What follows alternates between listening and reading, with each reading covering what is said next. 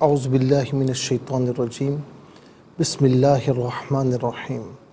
الحمد للہ وحدہ والصلاة والسلام علی من لا نبی بعدہ۔ وعلى كل من صحبه وتبعه بإحسان بعدہ۔ اللہم صلی علی سیدنا و مولانا محمد وعلى آلہ وأصحابہ وبارک وسلم۔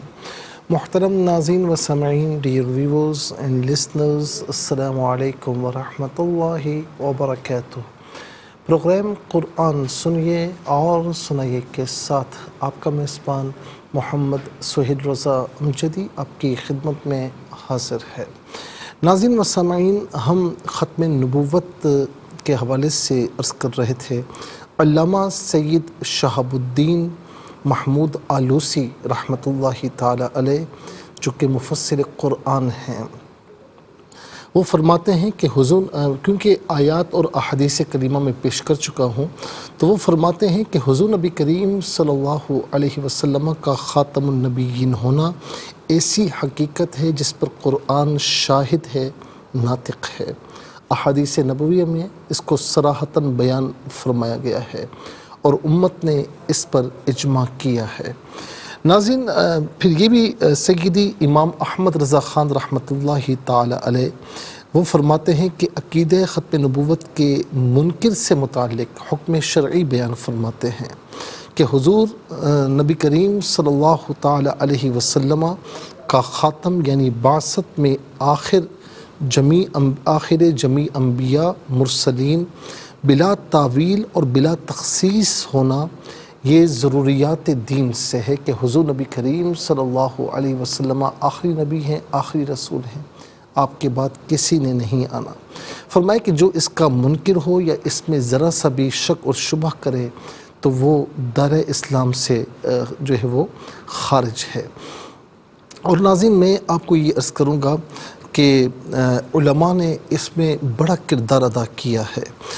انیس سو ترپن میں اس کا آغاز ہوتا ہے اور سید ابو الحسنات رحمۃ اللہ تعالی علیہ، پھر ناظرین، علامہ سید ابو الحسنات جو ہیں، انہوں نے اس کام کو جو ہے وہ شروع فرمایا اور پھر ان کے ساتھ یعنی معاملات آگے بڑھتے ہیں۔ تو علامہ عبدالحامد بدایونی رحمۃ اللہ تعالی علیہ، پھر قائد ملت اسلامیہ علامہ شاہ احمد درانی صدیقی رحمۃ اللہ تعالی علیہ، اور صاحبزادہ امین الحسنات سید خلیل احمد قادری رحمۃ اللہ تعالی علیہ، جیسی قداور شخصیت، شخصیات بھی آپ کے ہم قدم تھیں۔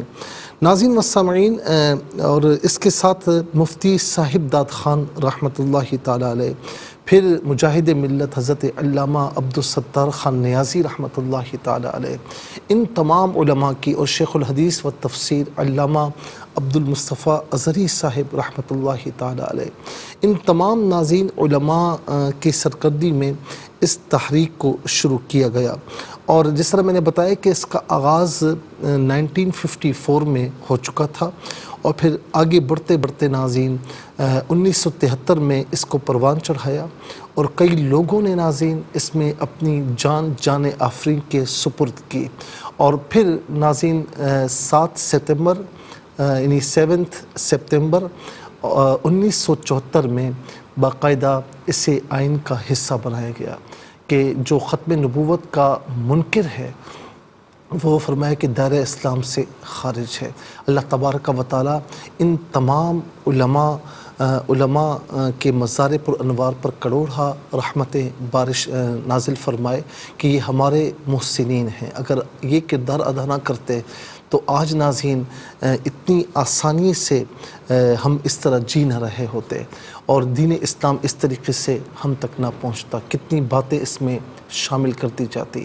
اور ناظرین قائد ملت اسلامیہ شاہ احمد دورانی صدیقی رحمۃ اللہ تعالی علیہ ایک موقع پر بیان فرماتے ہیں کہ جب اسے آئین کا حصہ بنایا جا رہا تھا تو فرمایا کہ جو ان کے نمائندے تھے تو اوپر چھت بالکل بند تھی، لیکن وہاں سے ایک کالک کالا مادہ نکل رہا تھا اور وہ اس کے چہرے پر آ رہا تھا۔ گویا کہ آخرت تو برباد ہے ہی، دنیا بھی انہوں نے اپنی برباد کی ہے۔ اللہ تبارک و تعالی ہم سب کو ختم نبوت پر صحیح عقیدہ رکھنے کی توفیق نصیب فرمائے۔ بہت سے لوگ یہ کہتے ہیں کہ خاتم کا معنی ہے مہر لگانا۔ مہر لگانا۔ تو ناظرین، یہ جو ختم نبوت کے منکر تھے، ان کا ایک یہ بھی تھا کہ حضور نبی کریم علیہ السلام کی مہر جس پر ہوگی وہ نبی ہوگا۔ تو ناظرین، یہ نقطہ نکالنا، یہ مسئلہ نکالنا، یہ بالکل غلط ہے۔ ختم اللہ علی قلوبہم وعلی سمعہم وعلی ابصارہم، کہ اللہ رب العالمین نے منافقین کے دلوں پر یعنی ان کی سماعتوں پر، ان کی بصارتوں پر مہر لگا دی۔ یعنی اب کوئی بات ان کی جو ہے وہ کانوں میں نہیں آ سکتی، کوئی دیکھنے والی چیز ان کی آنکھوں میں نہیں آ سکتی۔ یعنی مہر لگنے کا مطلب یہ ہے کہ اب اس میں کوئی چیز داخل نہیں ہو سکتی۔ حضور نبی کریم علیہ السلام کا خاتم ہونا اس معنی پر ہے کہ مہر لگی ہے۔ اب اس میں کوئی دوسرا نبی، کوئی دوسری نبوت داخل نہیں ہو سکتی۔ جو آئے گا، وہ جھوٹا ہوگا، وہ قذاب ہوگا۔ اس کے علاوہ کچھ اور نہیں ہو سکتا۔ اللہ رب العالمین ہم سب پر کرم فرمائے ہمیں حضور نبی کریم علیہ السلام سے سچی محبت سچا عشق عطا فرمائے۔ چلتے ہیں آج کے سبق کی جانب۔ ہمارا جو آج کا سبق ہے، وہ سورہ رات آیت نمبر سیونٹین۔ ناظرین، آیت نمبر سیونٹین کا فرسٹ پورشن آج کے اس سبق میں شامل ہے۔ فارمیٹ کے مطابق پڑھیں گے، باوضو ہو جائیں۔ اسکرین کے سامنے موجود ہیں، کلام پاک کو ساتھ رکھیں۔ آج کا سبق نکالیں، اپنے پاس نوٹ بک ضرور رکھیں۔ کوئی بھی امپورٹنٹ بات ہو، اسے نوٹ ضرور فرما لیجیے۔ آپ کو لیے چلتے ہیں آج کے اس پروگرام کے فرسٹ سیگمنٹ کی جانب۔ لغت القرآن یہ فرسٹ سیگمنٹ سیگمنٹ ہے، آئیے تعوض تسمیہ پڑھتے ہوئے آج کے سبق کو شروع کرتے ہیں۔ اعوذ باللہ من الشیطان الرجیم۔ بسم اللہ الرحمن الرحیم۔ انزل من السماء ماء فسالت اودیت بقدرها فاحتمل السیل زبد الرابیہ اسے رابین پڑھیں گے، وقف کی صورت میں رابیہ پڑھیں گے کہ دو زبر کی ترمین وقف میں الف سے چینج ہو جاتی ہے۔ تو وقف مطلب کہ شارٹ فارم ہے، جس کا معنی یہ ہے کہ یہاں رکنا بہتر ہے۔ کتنے کلمات انزلہ ایک کلمہ من دوسرا السمائی، تیسرا ما، ان چوتھا فا، پانچواں سالت، چھٹا، اودیتن، ساتواں، بی، آٹھواں، قدر قدر، نواں اور ہا زمین، دسواں، فا ناظرین گزر چکا احتمالہ گیارواں السیل بارواں زبدن تیرواں رابین چودواں کل یہاں چودہ کلمات ہیں ہر کلمے کو علیدہ پہ ملا کر پڑھتے ہیں بغور ملاحظہ فرمائے انزل من السمائی ملا کر پڑھنے کی صورت میں من کی نون پر زبر ہوگا اسے سین کے ساتھ ملائیں گے درمیان میں صرف حمزہ کو عذف کیا جائے گا۔ اور فاحتملا یہاں پر آپ دیکھیں، یہاں پر بھی ایسے ہی ہوگا، لام پر زبر ہے اسے السیلو کے سین کے ساتھ ملائیں گے۔ دونوں مقامات میں سے درمیان میں صرف حمزہ کو حذف کیا جائے گا۔ اور دونوں مقامات پر چونکہ سین ہے، سین حرف شمسیہ ہے۔ حرف شمسیہ وہ حرف کے جس پر الف لام ہو، لیکن لام کو پڑھانا جائے۔ من السمائی ماء ناظرین، دونوں مقامات پر سما اور ما مد متصل ہے، مد واجب بھی کہتے ہیں، مد لازم بھی کہتے ہیں۔ منیمم اس کو چار الف کی مقدار کھینچ کر پڑھنا ضروری ہے، زیادہ سے زیادہ اس کو چھ الف کی مقدار کھینچ کر پڑھ سکتے ہیں۔ من السماء ماء فسالت فسالت اودیتن بی قدری ہا اودیتن میں تا پر دو پیش کی تنوین ہے۔ اس کے بعد چونکہ با آ رہا ہے تو تنوین کو میم سے چینج کر کے میم کی آواز کو غننے کے ساتھ ادا کریں گے۔ اودیتن بی قدری ہا نہیں۔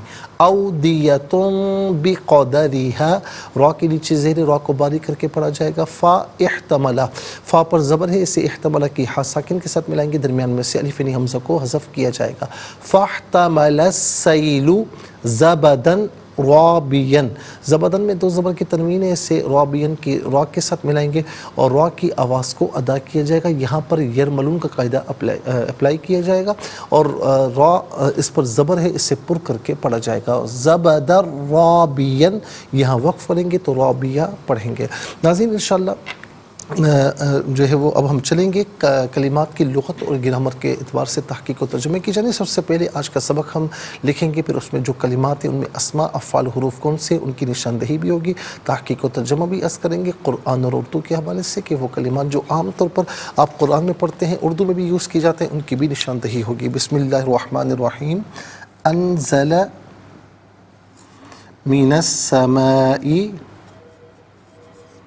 ماء فسالت اودیتن بقدرها فاحتمل السیل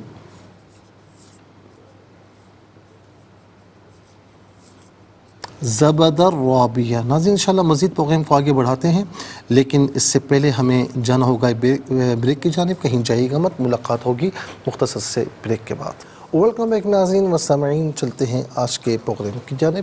اور یہاں پر آپ ملاحظہ فرمائیں کہ ہم آج کا جو لیسن ہے آیت کریمہ کا حصہ ہے، ہم وہ بھی لکھ چکے ہیں۔ اور اس میں اب چلتے ہیں اسما کی جانب، کہ اسما کتنے ہیں، کون کون سے ہیں۔ تو پہلا اسم ہے سما دوسرا ما، تیسرا اودیتن، چوتھا قدری، پانچواں ہا، چھٹا السیلو، ساتواں زبدہ اور آٹھواں رابیہ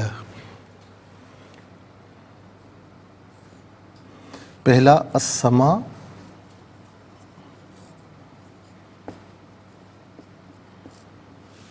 اور دوسرا ما ان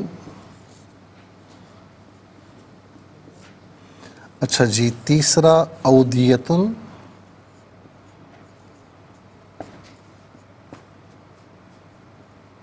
چوتھا قدری۔ پانچواں ہاضمیر۔ اور چھٹا السیل۔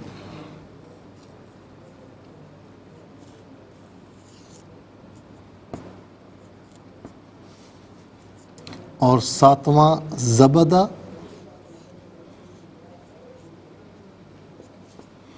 اور آٹھواں رابیہ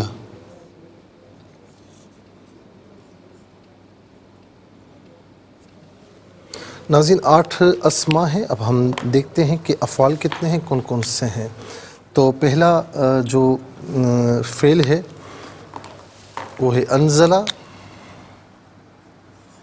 دوسرا سالت تیسرا احتملہ۔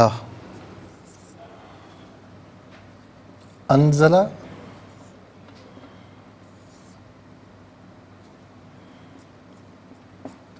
اور دوسرا سالت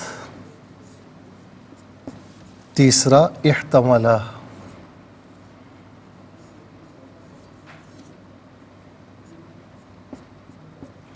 ناظرین، یہ تین افعال ہیں۔ اب ہم دیکھتے ہیں کہ حروف کتنے ہیں، کون کون سے ہیں۔ تو پہلا من، دوسرا فا، تیسرا با، فا گزر چکا ہے نمبر دو میں۔ تو تین جو ہے وہ حروف ہیں۔ پہلا من، دوسرا فا، تیسرا بی تو کل ملا کر ناظرین آپ دیکھ سکتے ہیں کہ آٹھ اسما تین افعال آٹھ اور تین گیارہ، اور تین حروف تو کل ملا کر ناظرین چودہ کلمات ہیں۔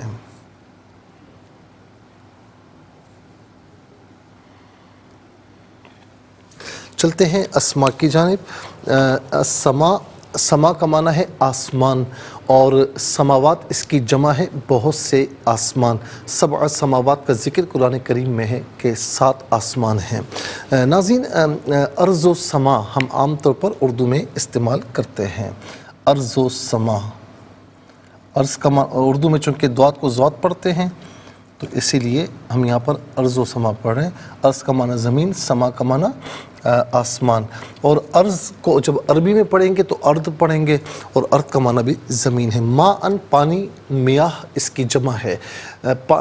ما ان پانی اور میاہن بہت سا پانی۔ اودیتن وادی کی جمع ہے۔ ناظرین وادی عام طور پر ہم اردو میں بھی استعمال کرتے ہیں، لیکن وادی اسے کہتے ہیں کہ جہاں پر نہر وغیرہ بہتی ہو۔ تو، لیکن اب ناظرین، وادی علاقے کو بھی کہا جاتا ہے۔ تو اس کی جمع ہے اودیتن۔ اودیتن کا معنی بہت سی وادیاں۔ تو وادی ہم عام طور پر اردو میں استعمال کرتے ہیں۔ وادی، قدر۔ قدر کا معنی ناظرین یہاں پر ہے اندازہ، قدر اندازہ۔ پھر ہا واحد مؤنس غائب کی ضمیر ہے۔ واحد مؤنس غائب کی ضمیر متصل ہو تو ہا کی شکل میں منفصل ہو تو ہیا کی شکل میں ہا یا ہیا۔ اس کا معنی ہوگا وہ اس اس۔ اور السیل کا معنی ہوگا سیلاب کا، سیلاب کی رو۔ یعنی سیلاب کا بہنا، اسے کہتے ہیں۔ جیسے ہم سیل رواں بھی کہتے ہیں نا یعنی جاری پانی۔ تو سیل کا معنی ہوتا ہے پانی کا بہنا۔ اور یہاں پر مراد ہے کہ سیلاب کی رو یعنی سیلاب کا بہنا۔ اس کے بعد ناظرین، زبدہ۔ زبدہ میل کچیل۔ یعنی وہ میل کچیل جو پانی کے اندر ہو، اوپر کی جانب آ جائے، جسے ہم عام طور پر کہتے ہیں جھاگ۔ تو زبدہ کا معنی یہاں پر جھاگ۔ رابیہ ناظرین کوئی چیز پانی کی اوپر آ جائے اسے رابیہ کہتے ہیں اور یہاں پر مراد پانی کے بلبلے ہیں جو اوپر کی جانب دکھتے ہیں۔ چلتے ہیں افعال کی جانب۔ انزلہ، فعل مضی معروف سیغہ واحد، مذکر غائب، اس کا معنی ہے اس نے اتارا یا اس نے نازل کیا۔ دونوں میں سے کوئی معنی بھی کر سکتے ہیں۔ سالت، فعل ماضی معروف سیغہ واحد مؤنس غائب، اور اس کا معنی ہے کہ وہ بہ نکلی یا وہ بہ نکلا، یا وہ بہ نکلے۔ ان میں سے کوئی معنی بھی کر سکتے ہیں۔ اردو میں ترجمے کے اعتبار سے ہم اندازہ لگاتے ہیں کہ یہ مذکر کی بات ہو رہی ہے یا مؤنس کی لیکن عربی میں ترجمے کے اعتبار سے نہیں ہوتا، بلکہ سیغے کے اعتبار سے ہوتا ہے کہ اس میں علامت تانیس موجود ہے، تو اسے ہم مونس مانتے ہیں، چاہے ترجمہ مذکر جیسا کیوں نہ ہو۔ احتمالہ فعل ماضی معروف، سیغہ واحد، مذکر غائب، اور اس کا معنی ہے اس نے اٹھا لیا، اس نے اٹھا لیا۔ احتمالہ یحتمل احتمال۔ احتمال اس کا مصدر ہے، اور ناظرین، یہ ہم عام طور پر اردو میں استعمال کرتے ہیں۔ ہم کہتے ہیں نا کہ مجھے اس بات پر احتمال ہے کہ یہ کام ہوا ہے یا نہیں ہوا۔ چونکہ بندہ شک بھی اپنے ذہن میں اٹھاتا ہے تو اسی لیے ہم احتمال استعمال کرتے ہیں۔ چلتے ہیں حروف کی یعنی من کا معنی ہے سے اور عام طور پر ناظرین من وعن ہم اردو میں استعمال کرتے ہیں۔ من وعن اور اس کے بعد فا ہے، اس کا معنی ہے پس یا تو دونوں میں سے کوئی معنی بھی کر سکتے ہیں۔ بی، سات، مدد، تعاون، عوض کے معنی میں ہوتا ہے، یہاں پر سات کے معنی میں ہے۔ آئیے حروف کو آپس میں، بلکہ ناظرین، یہاں پر میں آپ کو بتاؤں کہ کل چودہ کلمات ہیں۔ ان میں چار کلمات ایسے ہیں جو بالعموم ہم اردو میں استعمال کرتے ہیں۔ نمبر ایک، سما۔ نمبر دو اودیت ان میں وادی۔ نمبر تین احتمال میں احتمال۔ نمبر چار، من میں منوان۔ آئیے حروف کو آپس میں ملا کر کلمہ، کلمات کو آپس میں ملا کر جملہ، کلام یا کیسے بنا کرتے ہیں؟ ملاحظہ فرمائیں۔ حمزہ نون زبر ان، زا زبر زا، لام زبر لا، انزلہ، میم زر مین نون سین زبر نس، سین زبر سا، میم علیف زبر ما، حمزہ زر ای، مین السمائی میم علیف زبر ما، حمزہ دو زبر ان، ما ان فا زبر فا، سین علیف زبر سا، لام تا زبر لت فسالت حمزہ واو زبر او، دال زر دی، یا زبر یا تا دو پشتم او دیتم بازر بی، قاف زبر قا، دال زبر دا، را زر ری، ہا علیف زبر ہا، بی قادری ہا۔ فا حا زبر فا تا زبر تا میم زبر ما. لام سین زبر لس سین یا زبر سی لام پشلو فحتمل السیلو زا زبر زا با زبر با دال, دال را دو زبر در دال را دو زبر در را علی زبر را بازد بھی یا دو زبر ین. زبدر را بین یہاں وقف لیں گے تو زبدر را بیا پڑھیں گے. آئیے ناظرین چلتے ہیں تلاوت کی جانب. سب سے پہلے ہم تلاوت کریں گے ترتیل کے ساتھ سماعت فرمائیے۔ أعوذ باللہ من الشیطان الرجیم بسم الله الرحمن الرحيم.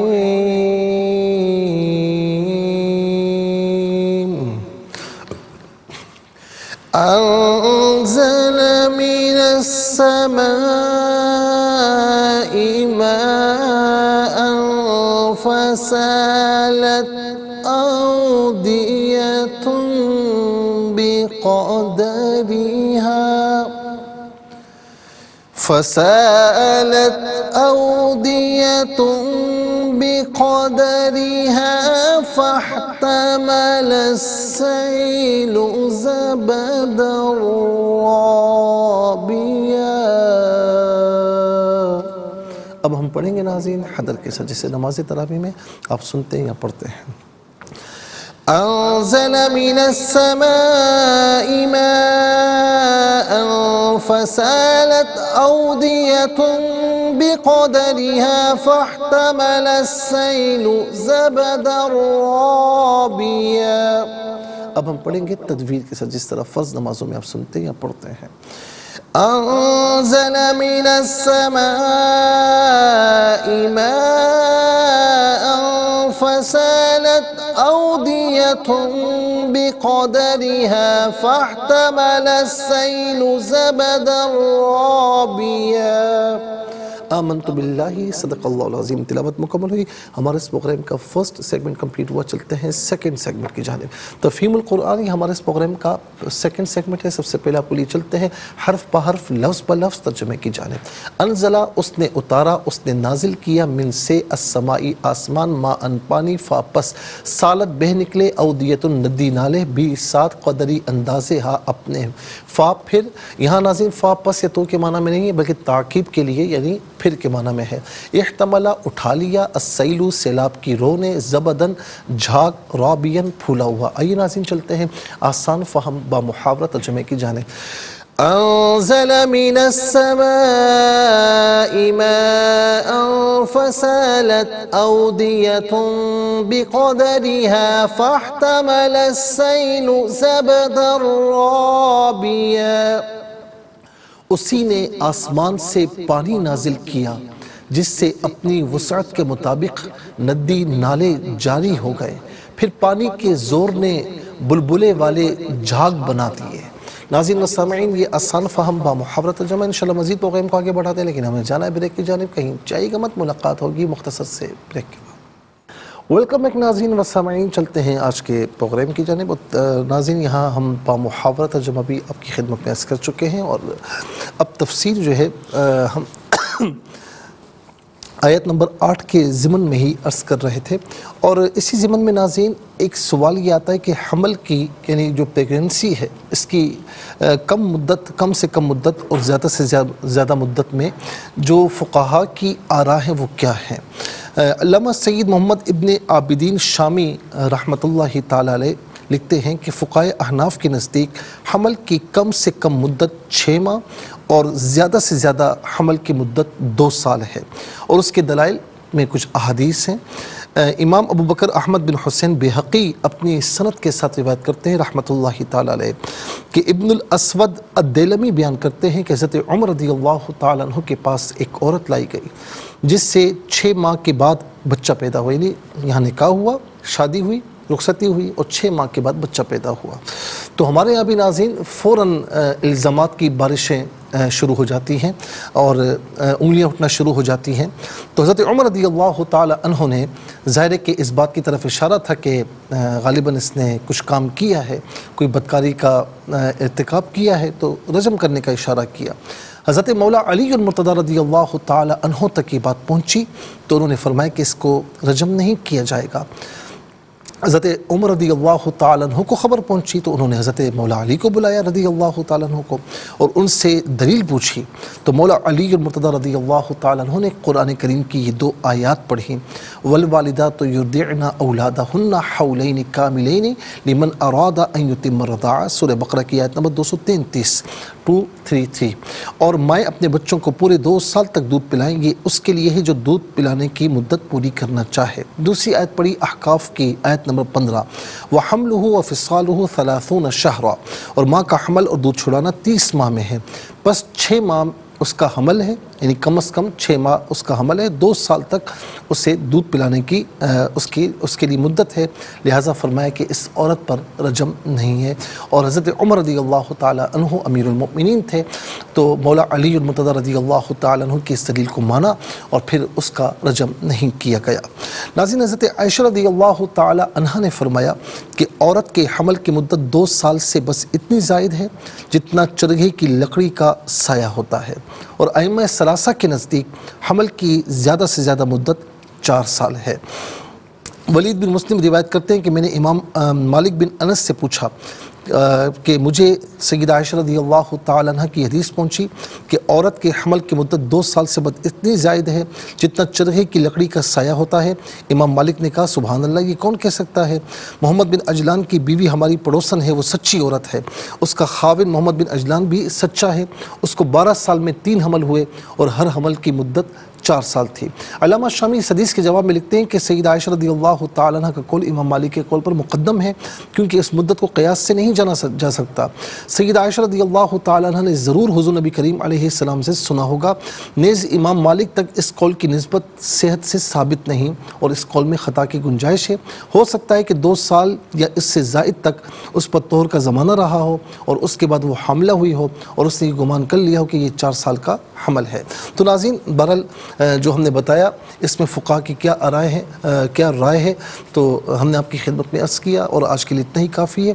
اور مزید انشاءاللہ کل کے پروگرام میں تفسیر کے ذمن میں عرض کریں گے۔ اس کے ساتھ ہمارے اس پروگرام کا سیکنڈ سیگمنٹ کمپلیٹ ہوا۔ چلتے ہیں تھرڈ اور لاسٹ سیگمنٹ کی جانب۔ قرآن سب کے لیے یہ سیگمنٹ آپ کا سیگمنٹ ہے۔ اس وقت اسکرین پر نمبر ڈسپلے آپ کا تعلق پاکستان پاکستان سے بعد کسی خطے کسی ملک سے اٹھائیے اپنے فون سٹائل کیجیے نمبرز کو۔ جوائن کیجیے ہمارے اس پروگرام کو۔ دیکھتے ہیں اس وقت لائن پر ہمارے ساتھ کون ہے۔ السلام علیکم۔ السلام علیکم۔ وعلیکم السلام ورحمۃ اللہ وبرکاتہ۔ جی کہاں سے؟ جی چکوال۔ جی سنائیے۔ اعوذ باللہ من الشیطان الرجیم۔ بسم اللہ الرحمن الرحیم۔ انزل من السماء ماء فصالت۔ فصالت فصالت۔ فصالت اودیات اودیات بقدرها۔ بقدرها فاحتمل السيل زبد الربيع. فاحتمل السيل. جزاك الله خير. السلام عليكم. السلام عليكم ورحمة الله. السلام ورحمة الله. جي سنية. آه، بسم الله الرحمن الرحيم. أنزل من السماء ماء فسالت أودية بقدرها فاحتمل السيل زبد الربيع. ترجمة.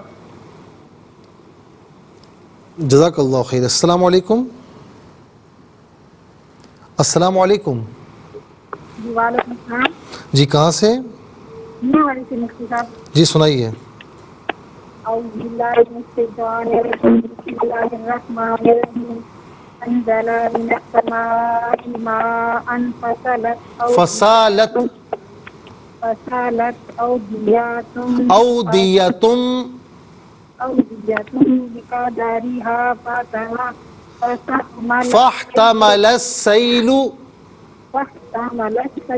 زبدا رابيا رابیہ بہت بہت شکریہ۔ السلام علیکم۔ وعلیکم السلام۔ جی کہاں سے؟ لاہور سے۔ جی سنائیے۔ اعوذ باللہ من الشیطان الرجیم۔ بسم اللہ الرحمن الرحیم۔ انزل من السماء ماء ماء فسالت أودية بقدرها فاحتمل السيل زبد الرابية. جزاک اللہ خیر اودیتن اودیتن پڑھیں گے او نہیں پڑھیں گے او ٹھیک ہے؟ بہت بہت شکریہ۔ السلام علیکم۔ میری آواز آپ تک پہنچ رہی ہے؟ ہیلو السلام علیکم۔ السلام علیکم۔ السلام ورحمۃ اللہ۔ جی کہاں سے؟ وعلیکم السلام میں جی سبق و ترجمہ سنائیے لیکن ٹیلی ویژن کی آواز کو ذرا جلدی سے بند کر دیجیے۔ جی۔ جی سنائیے۔ اعوذ باللہ من الشیطان الرجیم۔ بسم اللہ الرحمن الرحیم۔ اعوذ باللہ من الشیطان الرجیم۔ بسم اللہ الرحمن الرحیم۔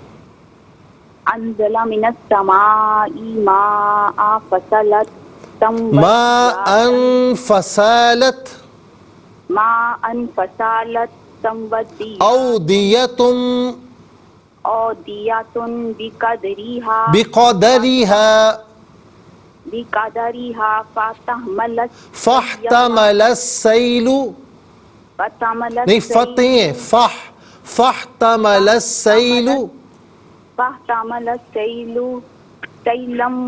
زبد الرابیہ بدر رابی زبا زبا. زبد الرابیہ رابیہ اچھا میری بہن ماشاءاللہ آپ نے اچھا پڑھنے کی کوشش کی لیکن تیاری کیا کریں تاکہ پڑھنا فوراً ہو جائے اور آپ صحیح طریقے سے پڑھیں تیاری پہلے کر لیا کریں ٹھیک ہے بہت بہت شکریہ ناظرین و سامعین اس کے ساتھ ہی ہمارے اس پروگرام کا وقت اپنے اختتام کو پہنچا یہ پروگرام جسے آپ روزانہ علاوہ ہفتے اتوار کے سے چار بجے سے لائیو اور پاکستانی وقت کے مطابق صبح سات بجے سے ریپیٹ ٹیلی کاسٹ میں یہ پروگرام پیش کیا جاتا ہے اور فیڈ بیک سے ضرور آگاہ کیجیے گا Q S A S at A R by Q T V dot T V اور یوٹیوب پر آپ اسے قرآن سنیے سنے کے نام سے ضرور سرچ کیجیے۔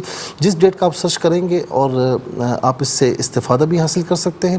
اور صرف خود مستفیض نہ ہو، بلکہ اوروں کو بھی ترغیب دیجیے۔ زندگی رہی تو انشاءاللہ کل سیم ٹائم آپ کی خدمت میں پھر حاضر ہوں گے۔ اس وقت کے لیے آپ سے اجازت چاہیں گے، پروگرام قرآن سنیے اور سنائیے کے میزبان محمد سہیل رضا امجدی اور یار بائی کیو ٹی وی کی پوری ٹیم کو دیجیے اجازت اس دعا کے ساتھ۔ ساتھ کہ اللہ رب العالمین آپ کا ہم سب کا حامی و ناصر رہے۔ السلام علیکم ورحمۃ اللہ وبرکاتہ۔